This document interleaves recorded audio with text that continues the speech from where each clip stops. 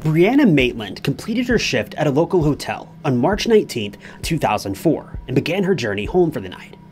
It was a routine she'd performed countless times before, a familiar rhythm to the ebb and flow of life in Sheldon, Vermont. But little did she know that this night would be different, and the path she tread upon would veer off course into the realm of the unknown. The following morning, a ski team visiting the snow capped mountains of Vermont was traveling down Route 118 when they spotted something that sparked their curiosity. So much so that they pulled the side of the road and photographed an Oldsmobile Delta that had been backed up suspiciously into a barn. They poked around momentarily, looking to offer assistance, but no one was around. They loaded back into their vehicle and drove off, not knowing that their photos would be the only remaining images of a crime scene where Brianna Maitland vanished without a trace.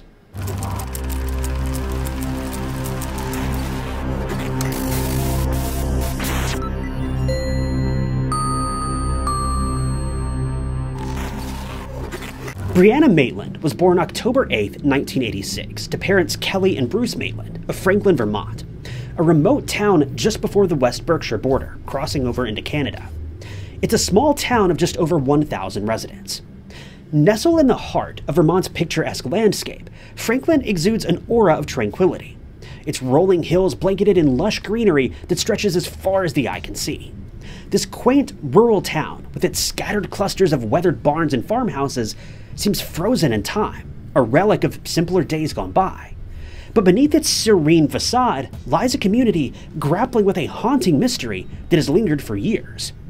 Franklin is not just a dot on the map, it's a place marked by the enigmatic disappearance of Brianna Maitland, a young woman whose vanishing continues to cast a long shadow over the town.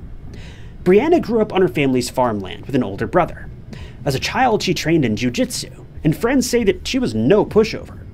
Her upbringing made her fiercely independent. Her friends and family describe her as being a kind and a good friend. She was never afraid to stand up for what she thought was right. Her father, Bruce, says Brianna had a strong sense of justice.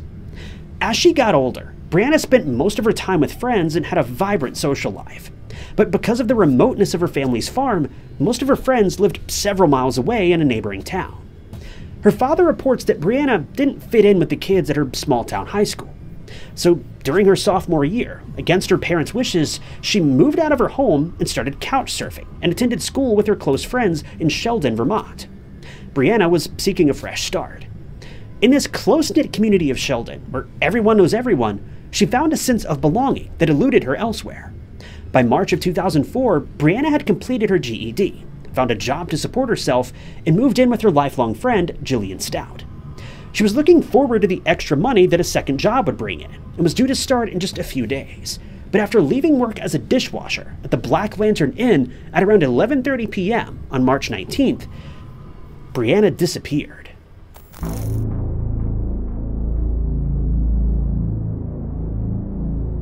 In the months leading up to her disappearance, Brianna was a vibrant presence in the town of Sheldon. Tall and slim, with long flowing brown hair and a radiant smile, Brianna possessed a natural beauty that captivated those around her. Outside of work, Brianna was known to enjoy spending time with friends, attending local events, and exploring the surrounding countryside. But there were also reports of occasional conflicts and disagreements in the weeks leading up to her disappearance, adding a layer of complexity to the circumstances surrounding her vanishing. Despite these challenges, Brianna remained hopeful and optimistic about the future.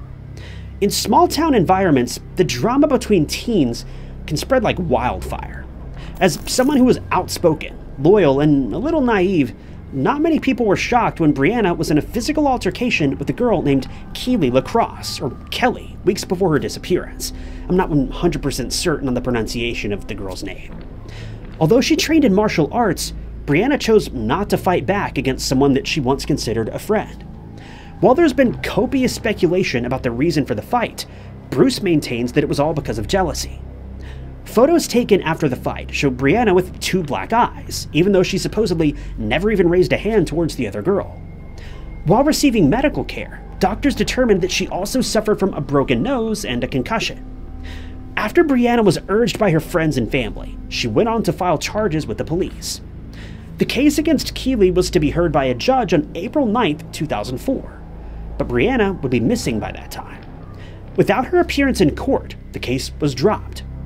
On the morning of Friday, March 19th, Brianna took and passed her GED test. To celebrate, Brianna and her mother Kelly went out for lunch and to go shopping. Kelly is quoted in the Trace Evidence podcast as saying, quote, it was an upbeat day. Despite the celebratory nature, though, Kelly reports that while they were standing in line to buy some items, Brianna was staring out one of the windows into the parking lot and stated out of nowhere that she'd be right back, leaving her mother standing alone in line. After checking out, Kelly exits the store, heading for the parking lot where Brianna meets up with her. Kelly reports that at this point, Brianna seemed agitated. Kelly didn't want to push her daughter on the matter, so she accepted the answer that she just needed to get ready for work. Those close to Brianna have since come forward, stating that she was confronted in the parking lot and was urged not to go to work that night. People following the case have made some wild assumptions about this warning, coming up with all sorts of theories about what may or may not have happened that day. But with the looming court date, the reason for this confrontation seems obvious. Despite her daughter's abrupt change in attitude, Kelly dropped Brianna off at the apartment that she shared with Jillian without pressing the matter. This was the last time she saw her daughter. Before going to work on that frigid evening, Brianna left a note for Jillian that she would be back later after work. But Brianna would never return. It's stories like this that remind us that danger can pop up when you least expect it. And when you're injured, your injury could be worth millions. Insurance companies often love to lowball claims, but if you become a client of Morgan & Morgan, they'll help you fight to get what you deserve. All law firms are not the same. Morgan & Morgan is as popular as they are for a reason.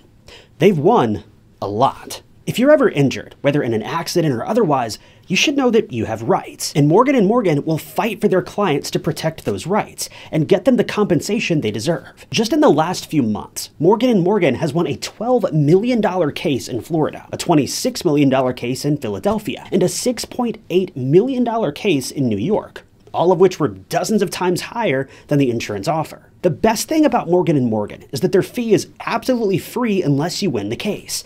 And there's a good reason why over 3 million people each year trust Morgan & Morgan and call them in their time of need. If you've ever been injured, it's super easy to start a claim with America's largest injury law firm in just a few clicks. You can start your claim now with Morgan & Morgan at forthepeople.com slash true crime stories or click the link in the description. That's forthepeople.com slash true crime stories.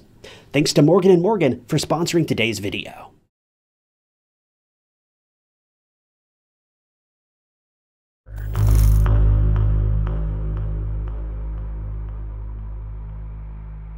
The Black Lantern Inn was busy when Brianna arrived that evening.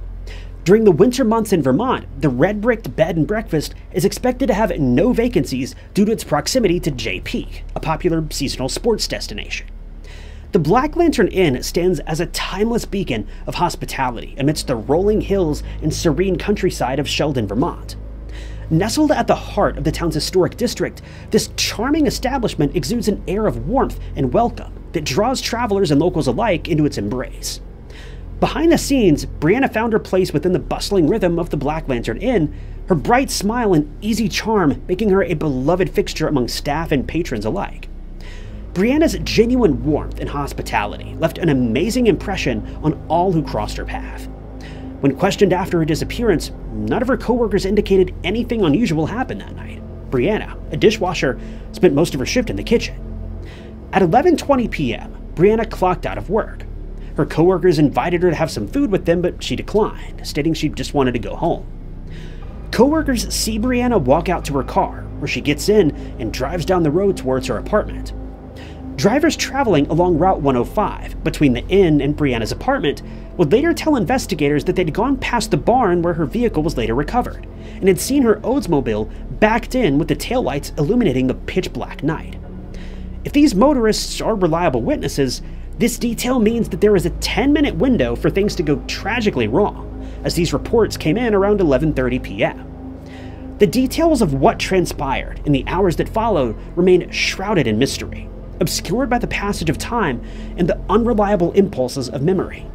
What is known is this Brianna was last seen leaving the Black Lantern Inn in her car, a 1985 Oldsmobile sedan, sometime after 11:20 p.m. It was a sighting that would later become the focal point of the investigation into her disappearance, a breadcrumb trail leading to the darkness that swallowed her whole.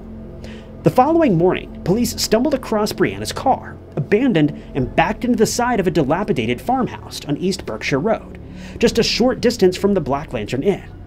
Mind you, at this point, police had no reason to suspect that Brianna had vanished, so they were a bit confused not only by the state of her car, but also its location. Its windshield was shattered, and its rear end was lodged firmly against the side of the building. It stood as a silent lookout to the mystery that had unfolded in the dead of night that evening. But most intriguing of all about this discovery was that Brianna was nowhere to be seen.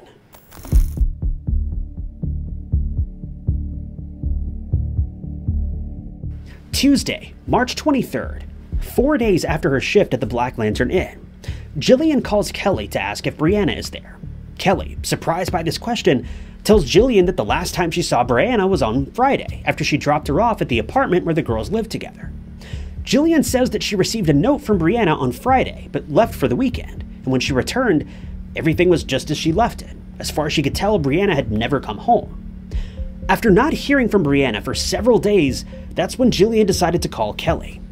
This means Brianna was missing for four days before anyone began to look for her. Rattled by this phone call, Kelly calls around looking for her daughter. Each call ends the same way. The person on the other line tells Kelly they haven't seen or talked to Brianna in several days. Kelly's worry increases with every phone call, and after she hangs up the phone for the final time, she decides she needs to report her daughter as missing. Shortly after, she drives to the Vermont State Police headquarters with her husband to provide them with the details of her missing daughter.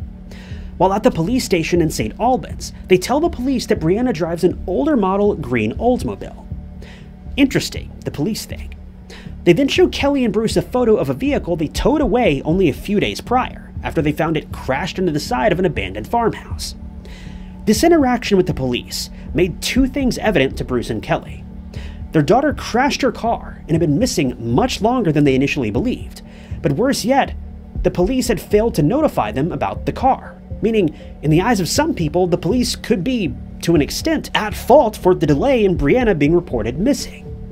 Police told Bruce and Kelly that they responded to the scene after several drivers called in to report the vehicle abandoned on the side of the road. But what's really interesting about this case is just how Brianna seemingly vanished without leaving a single shred of evidence behind, but also the similarities that this case has to another incredibly popular disappearance Maura Murray.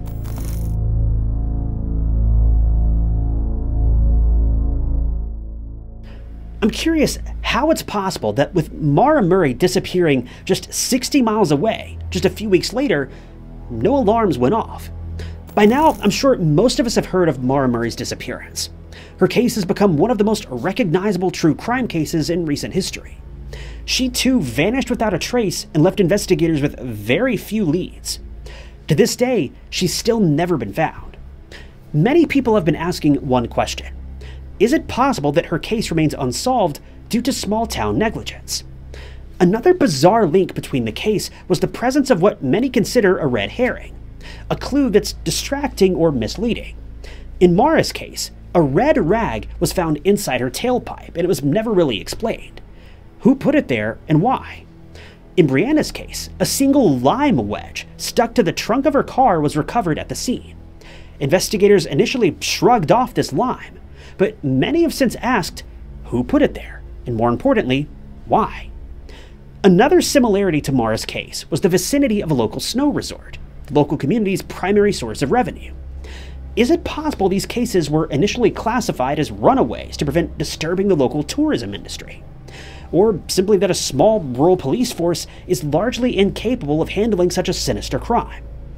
On March 20th, 2004, at 1 p.m., a deputy was sent to the scene of Brianna's abandoned car. Upon arrival, this deputy assumed the car was abandoned after a drunk driving accident. The vehicle was found unlocked with the keys missing. The responding officer located two unopened paychecks addressed to Brianna Maitland from the Black Lantern Inn, only a mile down the road, and went there to see if they could locate her. When he arrived, the inn was closed. Because he needed to respond to another call, the deputy ultimately decided to have Brianna's car towed to a local lot. He maintains he had no reason to believe it was a crime scene. While Vermont, this area in particular, has a comparatively low crime rate, especially concerning violent crime, I have difficulty believing that a low crime rate deters police from receiving proper training. I also wonder in what world is a car towed without first contacting the registered owner, especially in the event of a supposed crash? This just seems a bit backward to me. Following the missing person report filed by Brianna's parents, police searched around the Dutchburn barn with canines but found no substantial evidence. Like Maura's case, many close to Brianna felt that the unsolved status stems from negligence and simple lazy police work. Police took no pictures at either scene. The responding officers ran neither plate to establish contact with the registered owner. Despite both cars having wrecked at night in freezing temperatures, there was seemingly no concern for the driver of either vehicle. After towing each car away from the scene, law enforcement waited a substantial amount of time before contacting the family. As we all know, making assumptions in law enforcement can be a tragic mistake. While there are several similarities between the disappearances of Brianna and Maura, locals, Brianna's family included, don't believe they're related. That's because they believe they know who did it.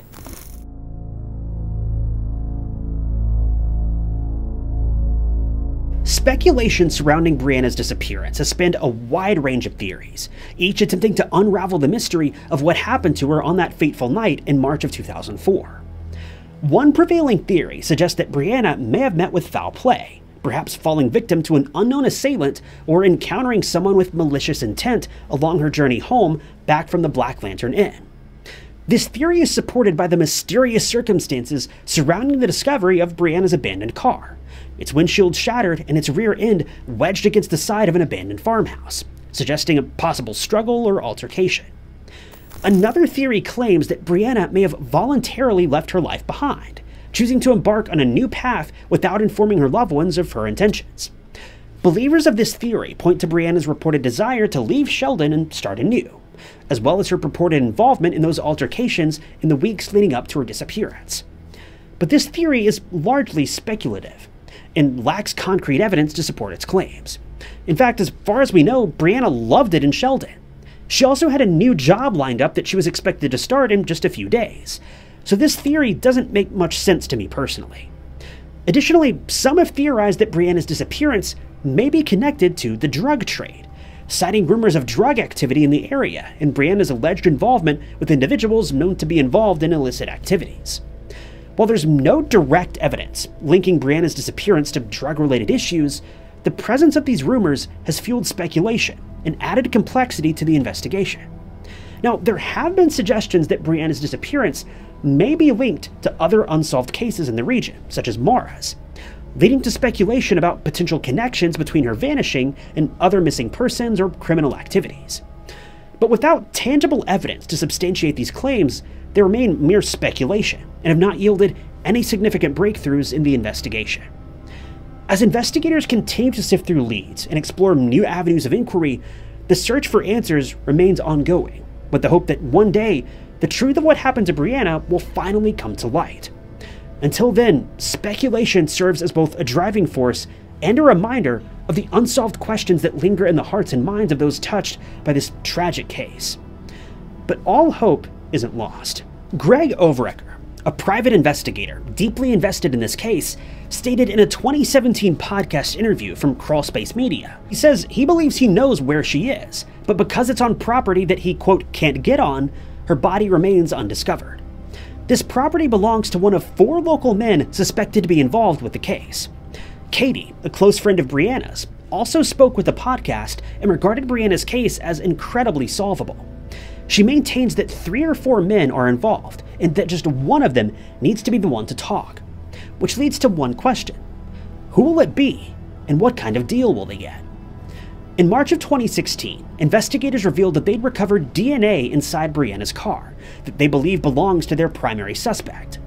On March 18th of 2022, Vermont State Police announced that a lab in Texas ran tests on forensic samples sent to them in the fall of 2020. They examined these samples using advanced DNA sequencing to identify a match to an individual on law enforcement's radar.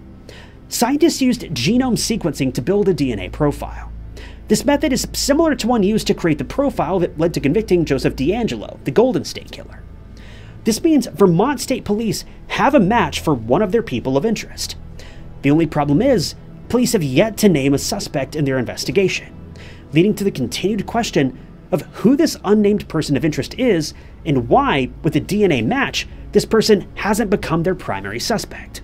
While Detective Angela Baker of the Vermont State Police maintains that this evidence, quote, doesn't mean they have identified a subject, to those following the case, it means they are close.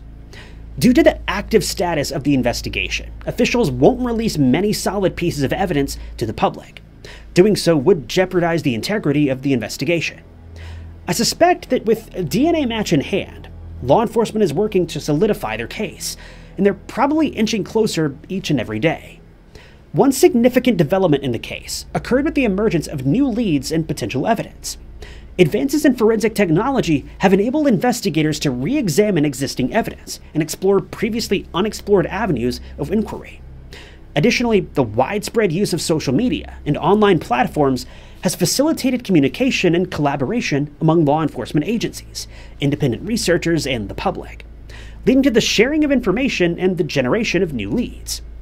In recent years, there have been sporadic reports of potential sightings of Brianna, or individuals matching her description, prompting renewed hope among her family and supporters. While many of these sightings have ultimately been proven to be unsubstantiated, each new lead is thoroughly investigated in the hopes of uncovering valuable information that could lead to a breakthrough in the case. What happened to Brianna Maitland on that fateful night remains a question that haunts the collective conscience of Sheldon and beyond. Law enforcement agencies launched a comprehensive investigation into her disappearance, scouring the surrounding area for any sign of her whereabouts. Yet, despite their best efforts, no trace of Brianna has ever been found. But amidst the uncertainty and anguish, one thing remains abundantly clear Brianna Maitland will never be forgotten. Her legacy lives on in the hearts and minds of those who knew her, her memory kept alive by the undying hope that one day the truth of her disappearance will come to light. Until then, she remains a symbol of the enduring mystery that lies at the heart of the human experience, a reminder that sometimes the answers we seek are simply beyond our grasp. As the sun sets over the rolling hills of Sheldon, casting long shadows across the landscape, the mystery of Brianna Maitland's disappearance endures. A silent testament to the fragility of life, but the resilience of the human spirit.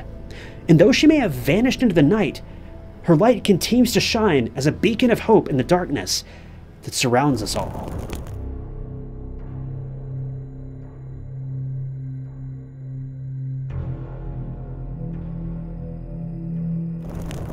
Thank you guys for tuning in to another episode of True Crime Stories.